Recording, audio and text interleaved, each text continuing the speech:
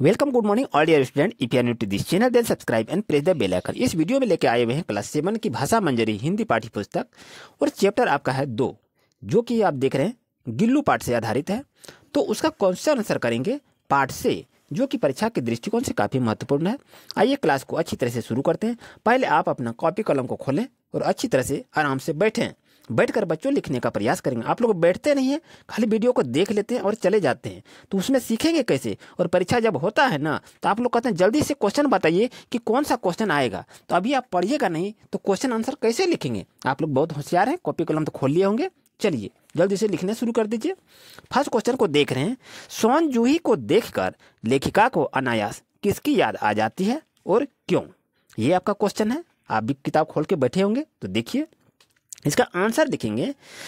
आराम से देखिए। स्वान जूही को देखकर लेखिका को किसकी अनायास आती थी? तो उसको लिखेंगे, अच्छी तरह से देखिए। स्वान जूही को देखकर लेखिका को अनायास उस नन्हे से गिल्लू की याद आ जाती है। क्यों याद आती है? तो उसको भी कारण लिखना है। क्योंकि उसने उसी स्वर्ण जूही के पास क्या किया था? उसके प्राण बचाए थे। ये आपको लिखना था। इस तरह से लिखे। अब आते हैं क्वेश्चन नंबर दो पर। दो नंबर क्वेश्चन में क्या कह रहा है?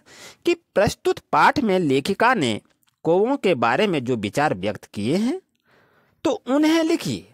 तो ये आपका क्वेश्चन भी है। आप किताब में भी देख रहे हैं अच्छी तरह से। तो उसे भी लिखेंगे। तो लिखेंगे तभी तो सीखेंगे ना। इसीलिए आप अच्छी तरह से पहले पढ़िए, मन लगाकर पढ़ेंगे और अच्छी तरह से क्वेश्चन आंसर को करेंगे। तो ये आपका क्वेश्चन कंप्लीट हो जाता है। आइए उसके साथ अब आंसर को लिखेंगे। तो आंसर लिखेंगे, पाठ के आधार पर लेखिका ने कौओं को क्या बताया है? समादरित कहा गया है। क्योंकि, उसको कहा तो क्यों कहा? क्योंकि जो लोग मर जाते हैं, वह कौए के रूप में अपने प्रियजनों से मिलने आते हैं। उन्हें खाना खिलाकर यह माना जाता है कि वह अपने प्रियजनों को खाना क्या करता है? खिलाया गया है। इससे उसको संतुष्टि होती है। तो इस तरह से आप लिख सकते हैं। वीडियो को रोक रोक कर इसे लिखने का प्रयास करेंगे। क्वेश्चन नंबर बच्चों, तीन की बात करें। तो उसमें क्या कह रहा है कि बहुत समय बीत जाने के बाद भी, क्या करता है? बहुत समय बीत जाने के बाद भी लेखिका गिल्लू को क्यों नहीं भूल पाती है? तो उसका कारण को बताना है। उस कारण को आप लिखेंगे। तभी तो आखिर वो भूल नहीं जाती है। क्यों नहीं भूलती है? उसका कारण क्या था? तो उसका आंसर को भी लिखना है। तो ये रहा आपके पास आंसर। कॉपी कलम को आप खोल लिए हैं तो साफ़ सुथरा लिखिए। जैसा मन तैसा नहीं लिखना है, साफ़ सुथरा लिखना है। बहुत समय बीत जाने के बाद, क्या हुआ था? बहुत समय बीत जाने के बाद भी लेखिका गिल्लू को इसलिए नहीं भूल पाती थी। क्यों? क्या कारण था? क्योंकि लेखिका ने गिल्लू को अपने बच्चे की तरह देखभाल करके पाला था। वह गिल्लू का ख्याल एक माँ की तरह ही रखती थी और यही कारण है कि लेखिका ने, लेखिका गिल्लू को नहीं भूल पाती थी। इस तरह से बच्चों, आप आंसर को लिखेंगे। क्वेश्चन नंबर चार आपके पास आ गया है। अच्छी तरह से देखते चलिए। चार नंबर क्या कह रहा है? लेखिका ने आप लिखे अच्छी तरह से, लेखिका ने गिल्लू की प्रशंसा किन शब्दों में की है? ये आपका क्वेश्चन है, चार नंबर क्वेश्चन में। लेखिका ने गिल्लू की प्रशंसा किन शब्दों में की है? तो उसका आंसर भी आपको लिखना है। हम धीरे धीरे आपको लिख रहे हैं। धीरे धीरे आप लिखने का प्रयास करेंगे। हड़बड़ हड़बड़ नहीं कीजिएगा। नहीं तो हड़बड़ में काम गड़बड़ हो जाता है और अक्षर भी आपका खराब हो जाएगा। तो इसका उत्तर लिखेंगे, क्या लिखेंगे?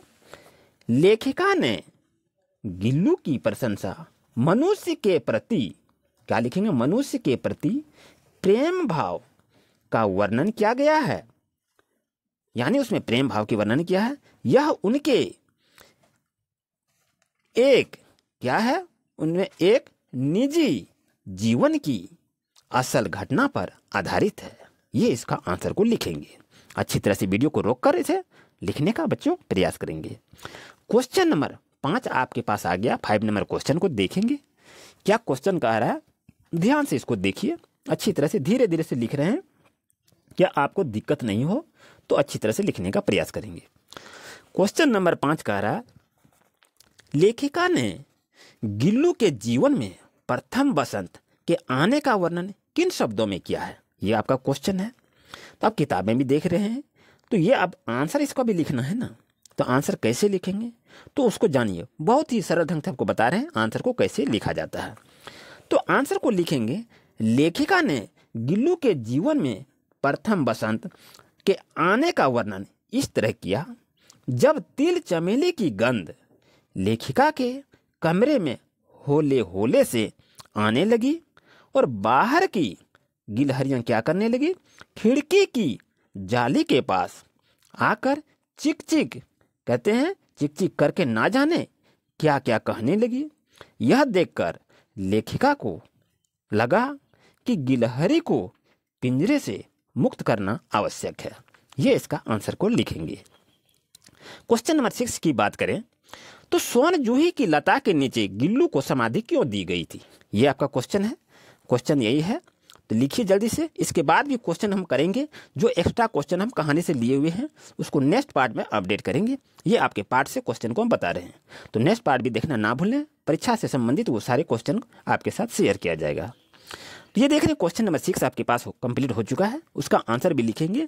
तो क्वेश्चन सुन लीजिए पुनः एक बार। सोन जूही की लता के नीचे गिल्लू को समाधि क्यों दी गई? तो आंसर बच्चों उसका लिखिए। सोन जूही को लता के नीचे गिल्लू को समाधि इसलिए दी गई। क्यों दी गई? क्योंकि गिल्लू को स्वर्ण जूही की लता सबसे अधिक प्रिय थी और अक्सर वह वहाँ छुप जाती थी। यही आपको लिखना है?